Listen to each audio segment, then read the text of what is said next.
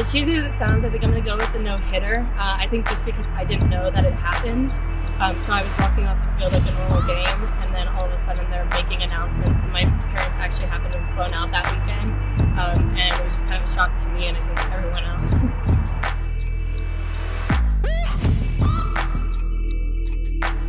I don't want to say it's a baseline, but I feel like it kind of is I want to strive to hit. Um, I mean, I know I've been capable of it. There's been a couple of other close few. Um, so I think it's just um, something I want to strive for, maybe even a perfect game.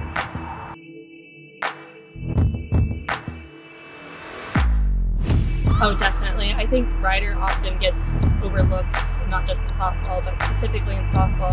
I mean, you can see it in the rankings as is. They ranked us not even making it into the tournament um, at the end of the season tournament, and so I think it just kind of showed us who we, showed them who we truly are.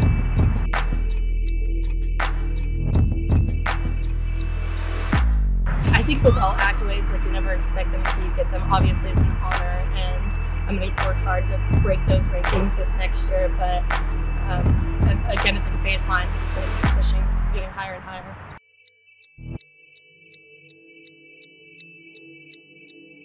Uh, I have uh, phenomenal coaches that have prepared me. Like in the fall, um, we pushed super, super hard in the fall.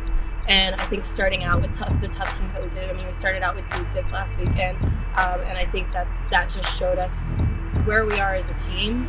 Um, so I'm, I'm, excited for the rest of the season. I think that uh, I think we're going to give the MAAC a run for their money.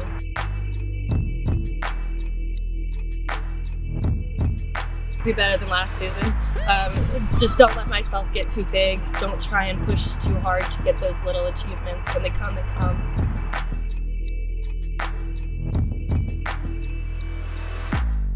Um, it was Duke, um, but we got that one out of the way. I think our team showed out phenomenally against Duke, um, especially against a great team. Um, uh, I'm looking forward to going out to Buffalo and playing Canisius, and I want to take it to them this year.